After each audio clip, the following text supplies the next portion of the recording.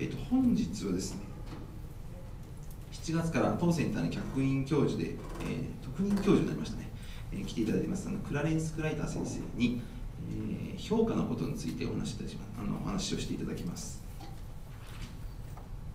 まあ見ていきます。Research estimating the overall quantitative impact of education assessment on medical students learning ということで、あのーまあ、今、倉井先生にあのこちらに来ていただいて、もう2か月ぐらいになりますけれども、もともとあの、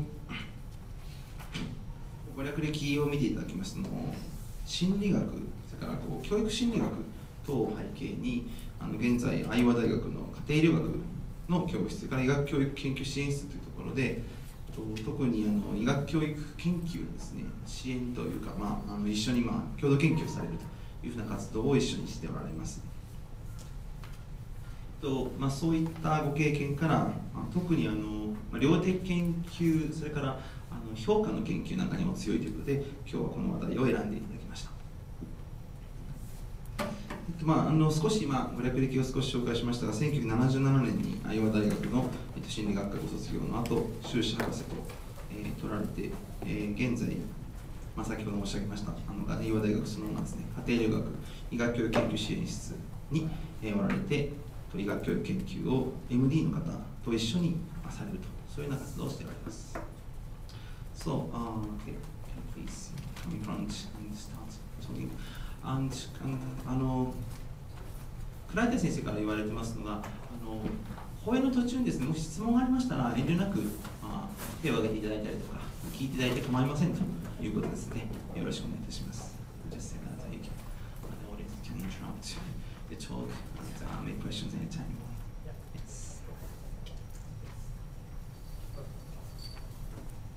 Thank you for that introduction, and uh, thank you all for coming today. Um, this talk, I'm hoping, will have a lot of um, general interest because it really is about the big picture of what we do with assessments in medical education. And um, I think it's a topic that often uh, people don't stop and think about often. I mean, we live with tests every day, and lots of the benefits and um, we don't really take time to appreciate what tests do for the educational system, or maybe what they don't do to the educational system too. I mean, I think we have to look at both sides. So um, I, I really appreciate the fact that you folks came out today to listen to this talk. And I'd like to thank uh, Dr. Saiki from uh, Gifu University. Him and I have been um, corresponding over the last few weeks, and he's provided some of the literature and helped me search some of the literature. And so I'd like to thank him for helping uh, with this research. The title of, of this presentation is a research synthesis estimating the overall quantitative impact of educational assessment on medical student learning. First, I'd like to provide a little bit of context um, for why um, this study was done. I mean, we all, I think, understand that medical schools allocate a lot of resources to assessment. Um, and there's not always a lot of buy-in to it. I'm not sure that everyone believes that the resources are wisely spent. Um, and so I think it, it's, it, it's prudent to, to step back and say, hold it, you know, we're spending all this money on assessment. We, we spend all this effort in research and development. Can you justify that these expenditures are worthwhile? And I mean, if you look at some of our, um, our educational journals and our medical education conferences, you'll see we allocate a lot of effort and a lot of research is dedicated to the assessment um, domain. Uh, and you know, the Ottawa Conference, which is an international conference that's held every other year, has turned totally over to assessment topics. And it's growing by leaps and bounds, too. And I think, um, uh, so, you know, this is a, a topic I think that, you know, we, we, we spend a lot of our resources on, but we don't really step back and say, well, what's the big picture of assessment in medical education? Um, and if you look at reforms that are going on in medical education, a lot of those reforms are in the form of assessments. Sometimes, um, if, if the reform itself isn't an assessment, we use assessments to evaluate those reforms. So assessment and, and educational reform really go hand in hand in a lot of different ways. And, and I think also, I don't know if it's true in Japan, But in the United States, you're, you're, uh, we're witnessing a lot of criticism over testing. Uh, standardized testing, uh, selection testing for admission. Lots of uh, institutions are questioning whether summative tests for grading is worthwhile. And there's lots of medical schools have gone to a pass-fail system. And in general, I think there's been a lot of um, criticism and skepticism about assessment in medical education and, and in the wider educational world as well. So I think as you as medical educators, when you meet this kind of skepticism, you'd probably be somewhat reluctant to endorse it. I think you probably have some sort of um, belief in, in, the, in the usefulness of assessment, but I wonder if we could defend it. I mean, in other words, you can't expect our critics to take on faith that, that, that assessments serve a positive function. So I think many medical educators at this point in, in time would be hard pressed to come up with an evidence-based argument against the critics. Um, and so this, this study basically, I think, is, is to provide some evidence to, to at least counterbalance the criticism at any rate. Um, so really, I have two research questions here. The first research question is, are educational assessments an effective learning tool in medical education? And the second research question is, is research on educational assessment likely to promote educational efficiency? Okay, you as, as physicians and, and, and people involved in medicine, I'm sure would like to do a randomized controlled trial. I mean, that's really the litmus test in medicine right now for really well-designed, um, research. But of course, we can't really do that very, uh, reasonably in this context. I mean, you could imagine a situation where you take half of your students and remove all testing influences, and the other half you continue to, um, to maintain the influences of testing, but that's not doable for a lot of practical and ethical reasons. So the question is, is there another approach? And if you, if you review the literature um, on, on the role of tests in medical education, I think you really, you can categorize just, all- every single study has, has a learning effect that is in one of these three categories. The test, it- it- um, and this, these categories are my own categorizations. I don't think anyone has ever categorized the the learning function of tests in these three categories. And so I'm really curious if anyone has, um, I'm gonna define what they are in a second, but if anybody has some, um, feelings about these, these categories not being all-inclusive, or, or if there's, you know, some of the categories are invalid for some reason, please speak up. But the three categories that, that I think tests make a difference in is, is the direct effect on learning, the indirect effect on learning, and the selection effect on learning. And I'm gonna go ahead and define each one. The, the direct effect on learning is something that has just recently become, um, well-known in medical education. It's been around for fifty years in the psychology literature and educational literature. And it's, it's the ability, um, of a test to have the intrinsic learning impact on students. Um, and so, I think the best way to think about it is if you pair a, a study period with an immediate testing period right afterwards, so that the student has to retrieve information, and this retrieval process is, is hopefully a process that more firmly codes the information in long-term memory. Now, these sorts of tests are not really used at this point in medical education. So this is kind of, this is a, uh, an effect that I would have to say is a potential effect that we could benefit from in the future. But um, as I'm gonna, I- I'm gonna uh, present to you some studies that have been done in medical education that are really quite promising, and I think it, it, it offers a, um, an area in medical education that, where testing can make a really positive impact. The, the next um, category is the indirect effect, and this, I think, is really uh, ninety percent of what we do in testing. Um, testing for grades, um, licensure testing, all the sorts of testing that go on in a medical college for accountability purposes. And really, this operates more extrinsically on students. In other words, students want to get a good grade. Uh, students want to eventually become doctors and pass licensure tests. Um, there's a certain amount of um, pressure that, that these tests apply. I think they also apply some pressure to the instructors. I mean, uh, if we look at our, our licensure tests every year, and if our students for some reason aren't doing very well, you know, somebody's gonna feel the grief. Somebody's gonna be, the- you know, the, the faculty, the medical teaching faculty will be told, hey, we're not, we're not performing as well as we did last year. So I, I think these, these accountability mechanisms have a learning effect not only for the student, who, who, who hopefully will be more motivated to study. I mean, you may encounter that students are naturally motivated to study, and so we don't need these kind of accountability mechanisms, and that's a valid criticism, and maybe that's true, and that's something we can discuss, um, in, a little bit.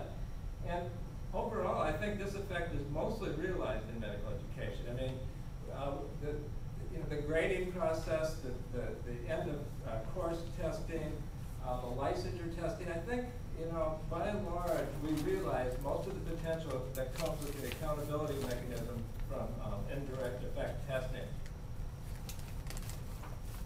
Okay, and the, the third effect is the selection effect. And, and these are the gains that are observed by using aptitude tests to select those most likely to excel in medical education. And I'm not sure um, about you know how this applies to all countries, but I know I can say that in the, in the United States and Japan, I believe this is a mostly realized um, potential. In other words, we have high quality tests, and we use them in an effective way to select those who are most likely to excel. So this is one of the, the effects that I think is currently being realized within medical education. Okay, well, so now we have the three effects, the three ways in which testing um, affects learning. And so I, I decided to uh, conduct a meta-analysis for each of the three effects.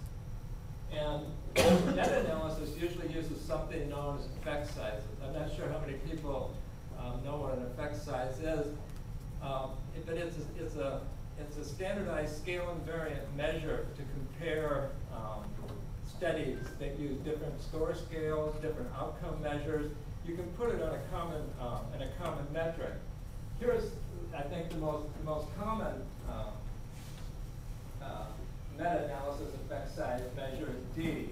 It's simply the, the mean of the experimental group minus the uh, mean of the control group divided by the uh, pooled standard deviation. So it, it measures the size of an effect uh, in distribution terms. How many standard deviation units does the, does the treatment have on the, uh, on the student population?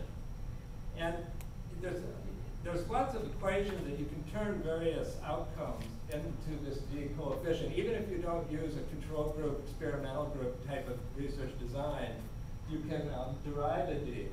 Uh, for instance, studies that use a correlation um, can be um, changed into a D uh, by this equation right here.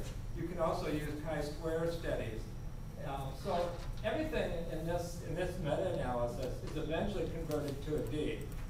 And there's lots of literature on the validity of doing this, and it's a fairly standardized practice, and I think um, it's, it's withstood the test of time.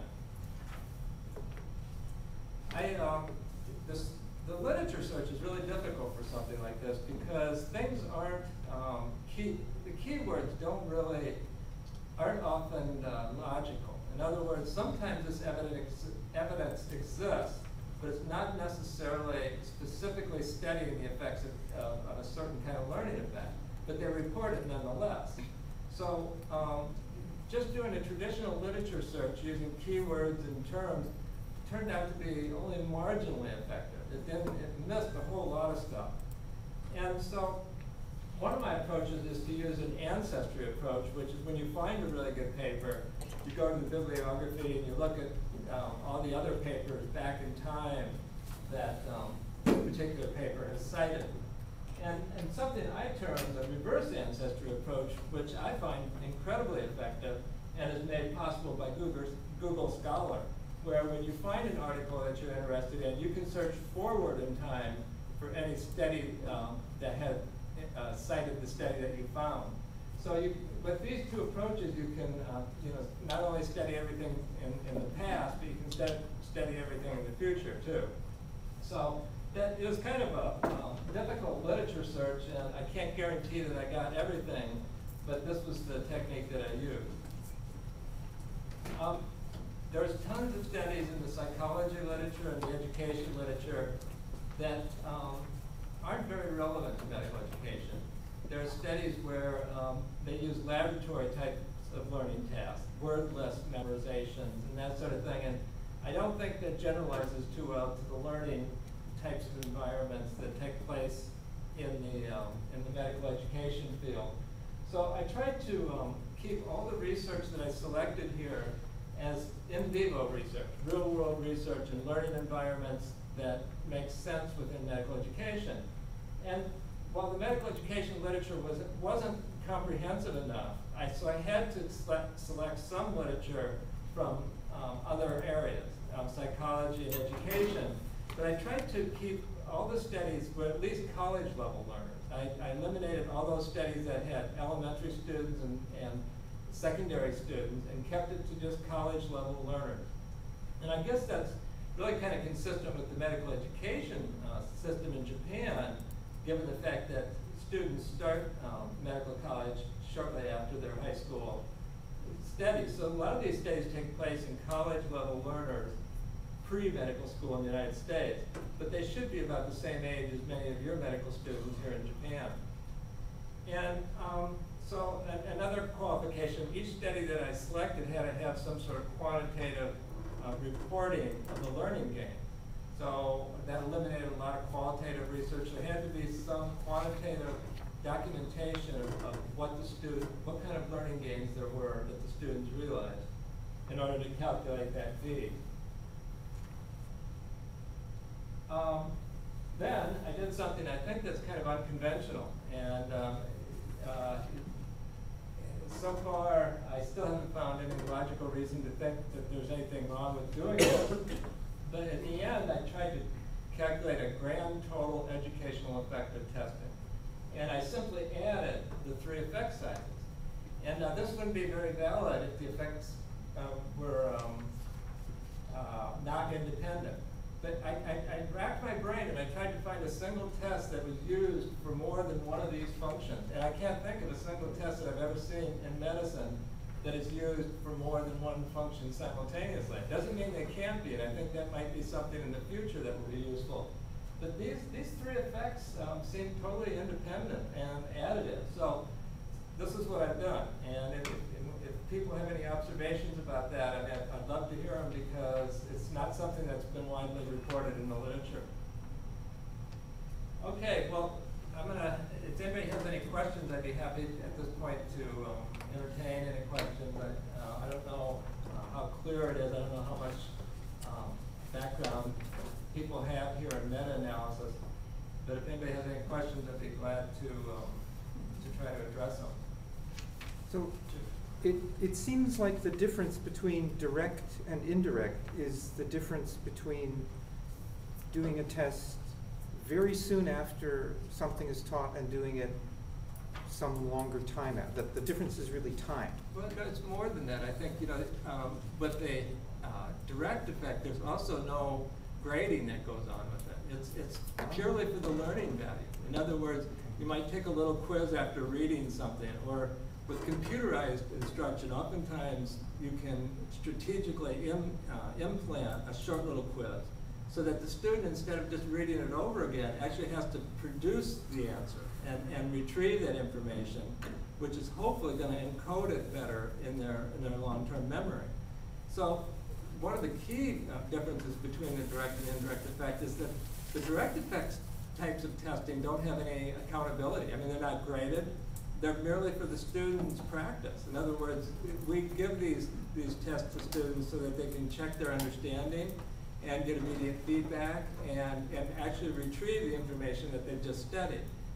And so, it, you know, and I, as I said, you know, the fact that it doesn't have any grading potential really removes um, most of the uh, accountability role that you'll see in, in the indirect effect.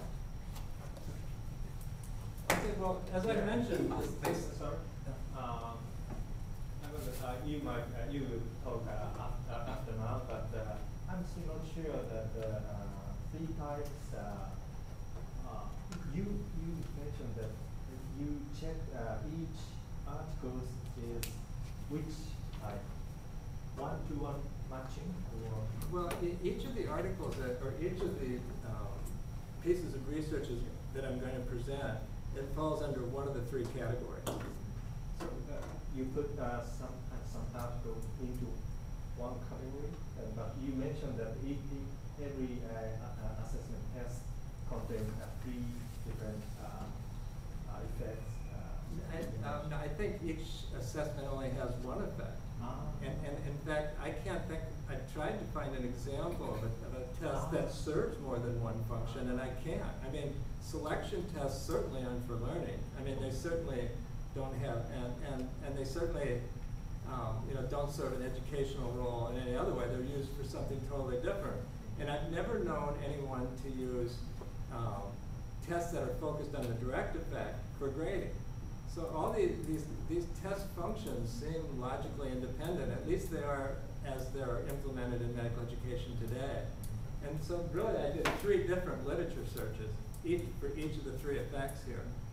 And each study really speaks to just one of these three effects, okay? Okay. And, and, um, the, the first, the first meta-analysis, the first literature search is for the direct effect. And as I mentioned, this has become kind of a, a fad now in medical education. I, um, it's been around for fifty years with really dramatic impacts reported in the psychology literature and the education literature.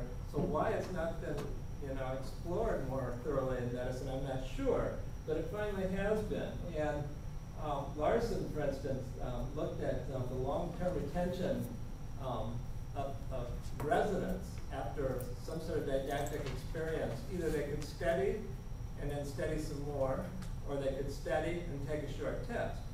And then uh, six weeks later, they were given a long, uh, a long-term memory test. How well did the instruction, um, uh, uh, how well did the instruction do?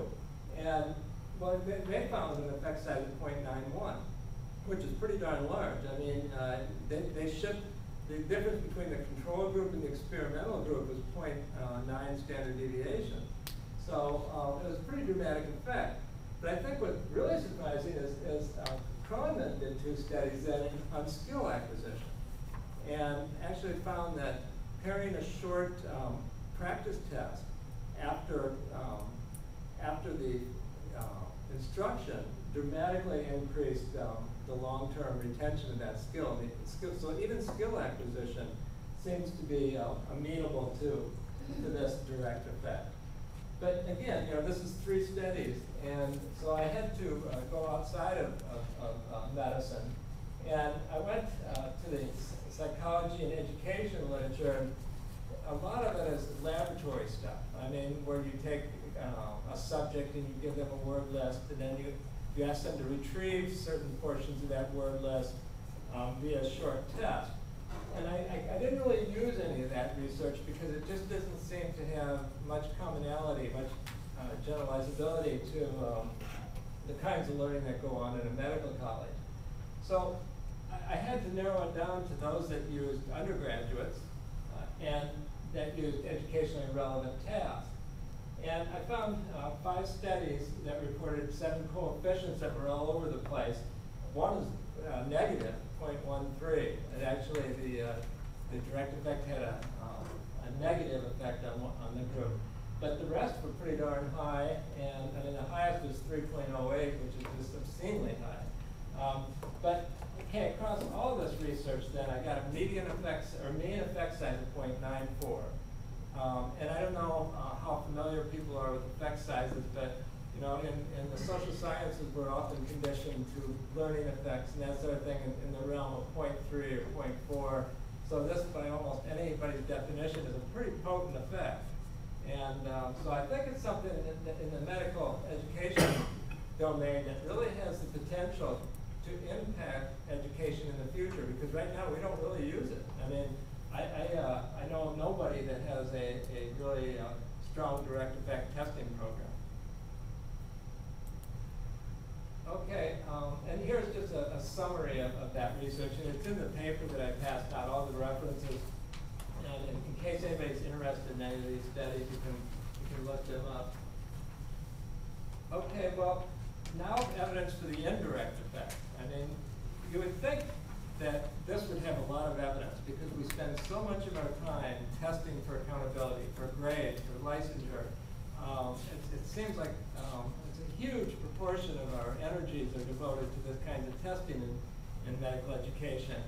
And yet, I really could find no evidence in the medical education literature that spoke to whether summative testing does anything. In other words, th- there's lots of qualitative studies that say, you know, oh, summative testing uh, destroys ambition, uh, derails the learning process.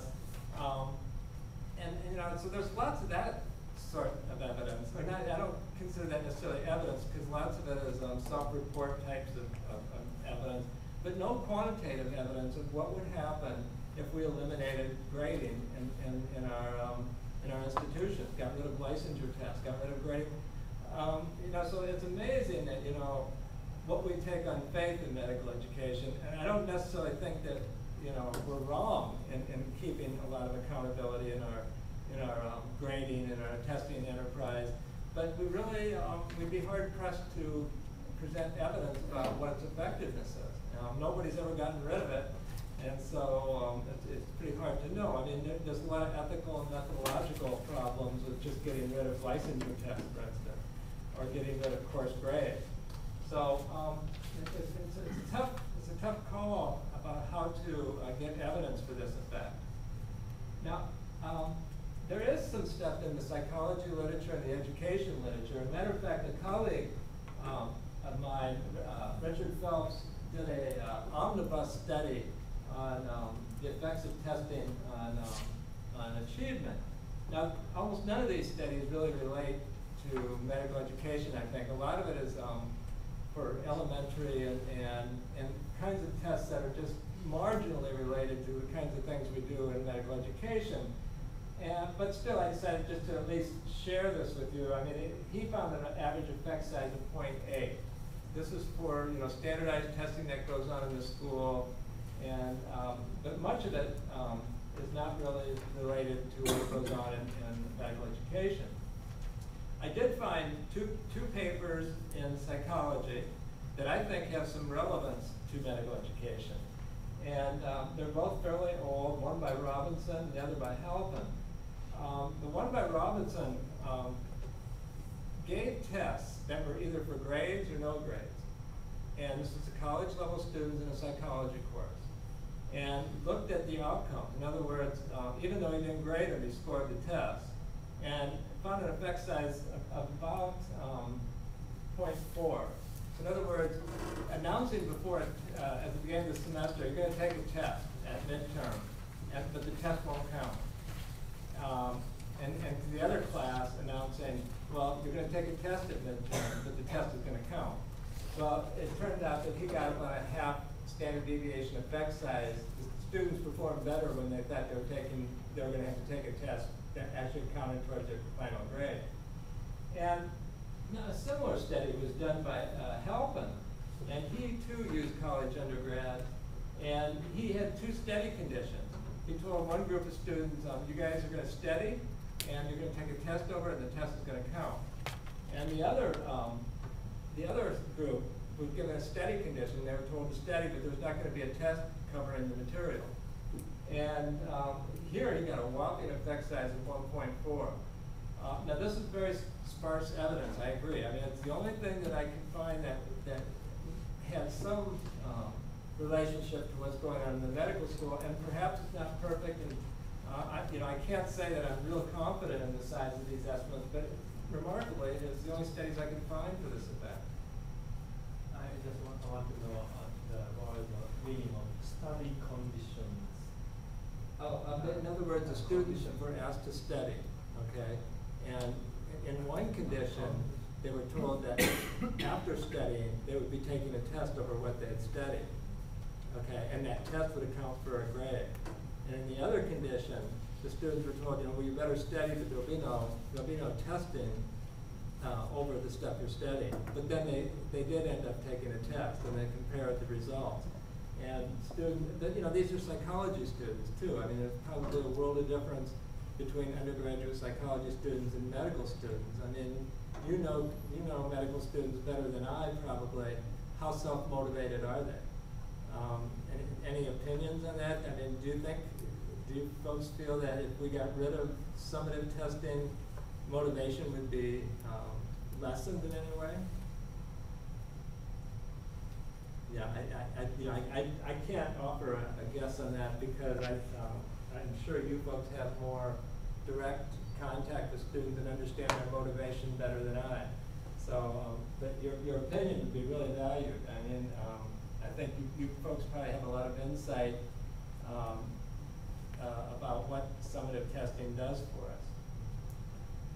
Okay, but, I think there are probably cultural differences too. If I come up with an estimate in the United States, it might not apply to, to Japan. I mean, I hear wonderful things about Japanese students, how motivated they are compared to US students. I mean, we, I, you know, we, hear all kinds of good reports about the educational system in Japan and how it motivates students. And so maybe the, the kinds of results we get in the United States wouldn't apply to Japan. I don't know, you know, but there, there are cultural differences too. And, and so, you know, it's, it's hard to make any kind of global assessment of this issue. And, and even if we got rid of course-based tests, the students still have to take a licensure test. And, you know, students are smart enough to, to plan ahead for the future. And even if you take away grading within the college, they're still going to have to pass that licensure test. And so that accountability mechanism is still there, even, you know, in, in almost every circumstance, at least in, in, in US medical education. So it'd be really hard to get, to get rid of. Okay, well, I have the exact opposite problem for the selection effect. There is so much literature out there, you can get buried in it. I mean, there's thousands, not thousands, hundreds of studies. And, uh, and there's also luckily a number of good meta-analyses that have been done on the, on the selection effect. Um, Ellen Julian um, is the first study I cite here. She uh, was the director for our um, admissions testing program. And so she had access to lots and lots of data and, and looked at um, uh, 14 medical schools and what happened to the, uh, to the correlation coefficient from admission tests. In other words, how well did they predict performance on USMLE? How well did they predict grades? And, and had a really robust data set. And it was almost a, a, a representative population sample. And there are, there are a number of really good um, uh, meta-analyses.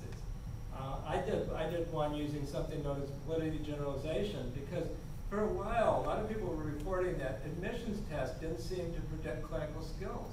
People would say, look at the correlation between our admission tests and clinical skills is zero. And they were usually using some sort of like OSCE that was conducted within the school. And you know, I mean, lots of those OSCEs have a reliability of about zero, okay? And so, so I decided, okay, I'm just going to look at, at the, um, at the correlation coefficients that were reported when they, when we knew the reliability of the outcome. And, um, one of the things I found is that these, these admissions tests not only predict, um, written tests, but they also predict clinical skills, um, OSCE performance. When you have an OSCE that is reliable enough to, to honestly assess the correlation. And, and actually, this technique has been used in the, in the employment literature a lot. I don't think anybody's ever used it in, um, in, in uh, education. But then there's a typical meta-analysis done by Don and, and, and colleagues, and they, um, they used um, all the all the research that had been done on the new version of our admissions test, which isn't, isn't that new anymore, 1991. And um, and the last study I'm going to report on is, is an actual controlled treatment type of study. So a wide range of studies. Um, Julian, as I mentioned, used 14 medical schools, studied medical school grades, USMLE, which is our licensure test, and corrected it for range restriction. Now, range restriction, we know what the outcome is for everybody we selected. Okay, so in other words, we know the correlation between their MCAT score and, and their USMLE score. But what we don't know is what the scores would have been for the students we didn't select.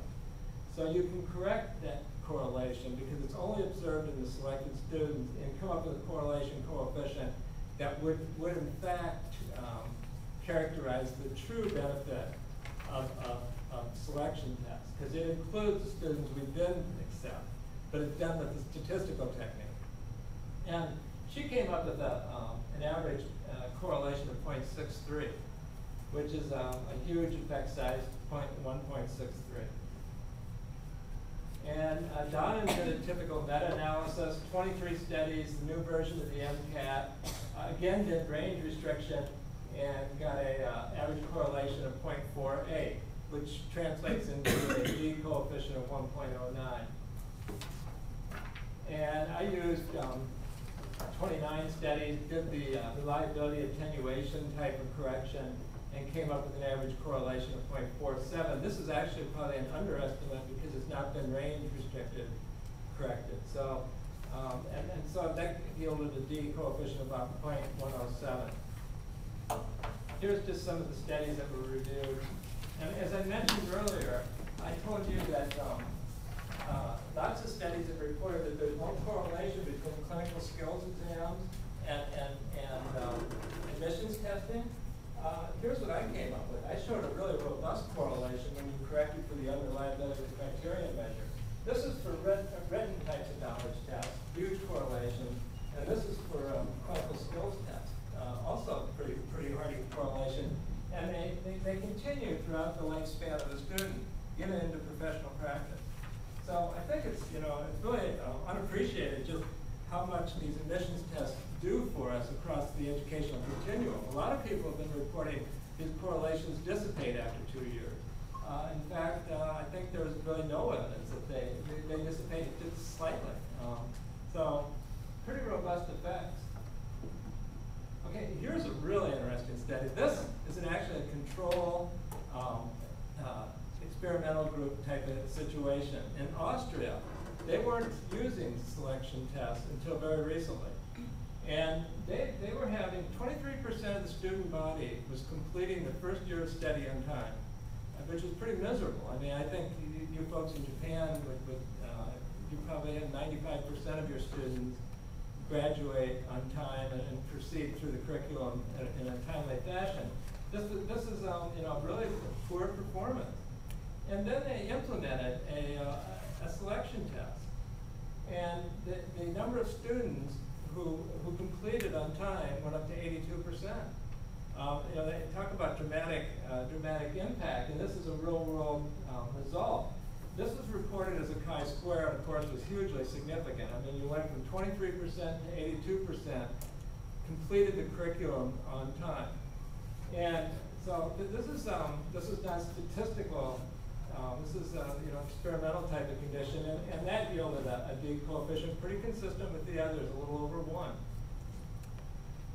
Uh, Claire? Uh, here's, here's, a, yeah, In the Austrian study, uh, was there a change in, say, whether, i- in Germany, I've heard that medical school is free. Yeah. In Austria, it might also be free. I free. think it's- And yeah. if they start cha- charging uh, tuition, then there would be a corresponding change in motivation, wouldn't there? To stay longer would cost more. Uh, Yeah, I I don't know. Yeah, that, that, that's a potential confounder, isn't it? In other words, especially recently. yeah, yeah, but, um, you know, I don't think the motivation before and after the selection test, there was a, but, you know, it could be that there was some governmental reform about how to fund it. I'm not sure, but it, um, I don't know of any reason, unless you know in Austria, whether there was some sort of, but, you know, it seems to me like those students that were selected with an admissions test um, should have the same sort of motivational factors as those who weren't, but, um, yeah, I, I'm not Okay. sure. All I know about Austria is that it's famous for having almost elderly medical students and law students in They their just stick 40s and around forever. 50s. Yeah, Yeah. they stick around forever. Yeah. But I don't know about the costs. Yeah, yeah, I'm not sure about that either. This actually was published in, in uh, academic medicine, and so it's, um, it- you know, it's probably something you could get more information from, from the author, and I think that's probably worth following up on.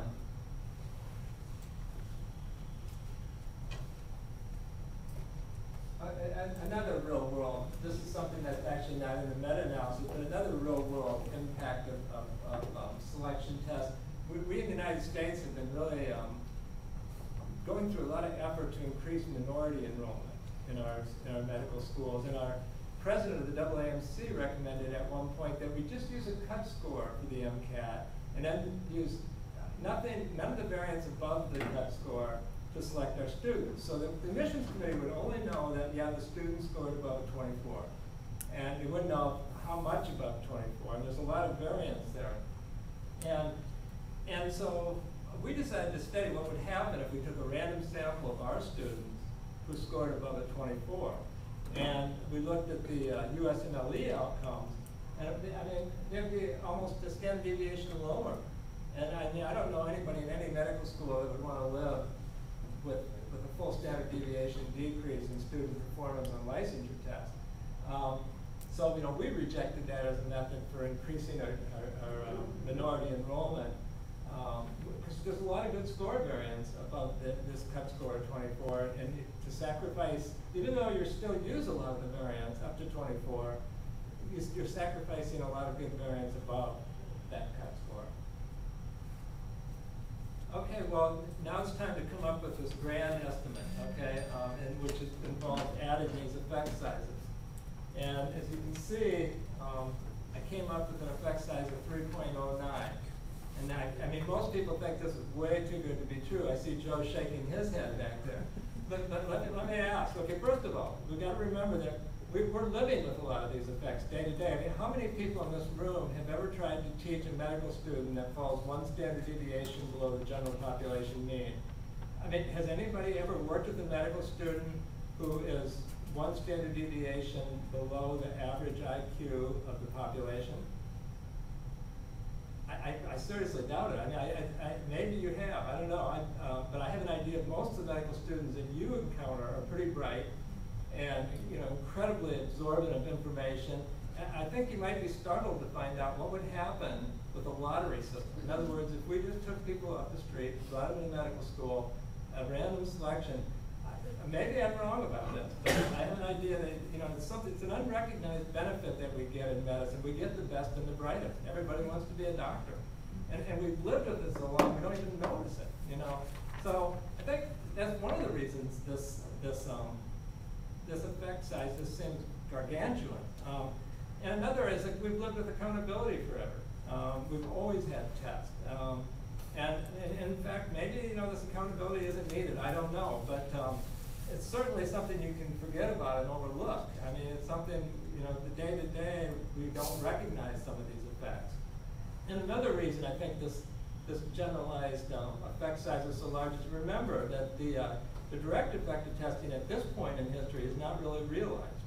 Um, we don't really utilize this, this direct effect.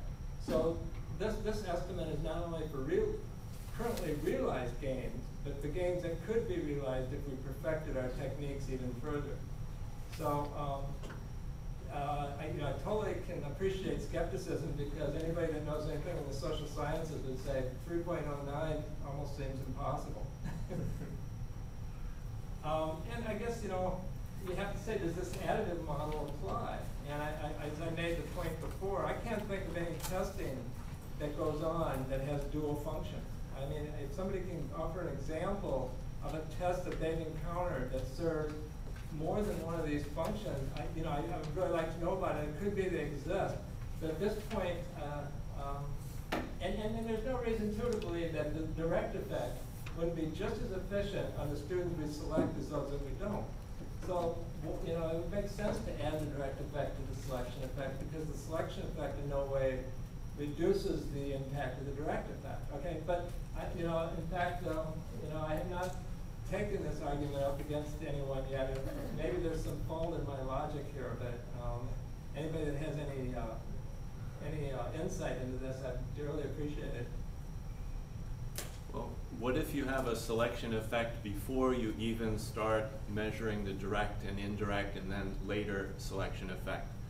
In other words, if you're only testing people who have already been eliminated uh, or have been selected and the rest have been eliminated, My- My hypothesis is that if we use the direct effect on students that we didn't select, it would be Mhm. just as potent. I mean, I, I don't get, but I don't know, yeah, it- you know, perhaps these But, students but you're select. saying that, that the students who are good at learning, um, the, the effect of the teaching methods and evaluation is established by your methodology, but students who are not good at learning, how can you be sure that they would learn anything? Well, you know, a lot of this has been conducted in, in, in, uh, you know, elementary and, and, uh, secondary level education, and there you've got the whole spectrum of students. These students aren't selected, they're just the rank and file students that you'll find in a class. And, um, and it, it- tends to work, um, I, as far as I know, across the spectrum. I mean, I don't think there's, I can't think of any evidence to suggest that the direct effect only applies to bright students. I think it would apply to, to, to your average learner too, but I, I can't, again, I can't prove that. I know of no evidence that would argue against that. Okay, I'm a little skeptical though. Yeah, I don't blame you. Okay, so, um, I, my two research questions. Um, are educational assessments an effective learning tool in medical education? I think it's unequivocal that they are, um, and I think, uh, there's good evidence for it. And is, uh, research on educational assessment likely to promote educational efficiency? And again, as I mentioned, a lot of these effects aren't realized, our tests aren't perfect, so I think, yeah, if you're gonna look for a way to intervene in the educational process, tests are likely to be an efficient and cost-effective way to make positive learning effects. Um, conclusions are that there's strong evidence for testing's ability to promote learning, that gains are only partially realized in many medical education programs, and that continued improvement in testing methods is likely to yield considerable gains in learning. Um, you know, one, one of the things I've been thinking about is, uh, you know, the indirect or the direct effect, how potent it might be in, in uh, computerized delivery of instruction where you can time, strategically time the assessment to go along with the instruction. Right now, the direct effect is pretty impractical in a lot of educational contexts. You can't really integrate it into a lecture, it can't be too well integrated into reading materials. So in fact, there's a lot of challenges to implementing the direct effect. But I think uh, with the electronic delivery of, of education, um, th- there's going to be some opportunities to mine that, that direct effect in the future. Well, yeah, and as I mentioned, this estimate uh, to social scientists is a wild, wildly positive estimate, and I don't, I don't uh, uh, criticize you at all for being skeptical, because I, I, even I am skeptical, but I can't believe it's so large. And I think this, you know, this study serves an evaluation role, I mean, especially for administrators, and, uh, they, need to be, have evidence-based, they need to have evidence for the decisions they make. And I think it's our responsibility as educators to provide them with evidence about what's likely to make a difference. Uh, they can't just take it on faith. And I think, so, you know, this, this state can serve an evaluation role, um, in, many, in many institutions. Um, I'd love to hear any questions and, uh, you know, any kind of debate would, would, would only help, I think, the, uh, the process of this research. So, please feel free to, um, weigh in on anything that you think may have been omitted or faults in logic. So first, thank you very much, Claire. Um, did you have any questions, comments?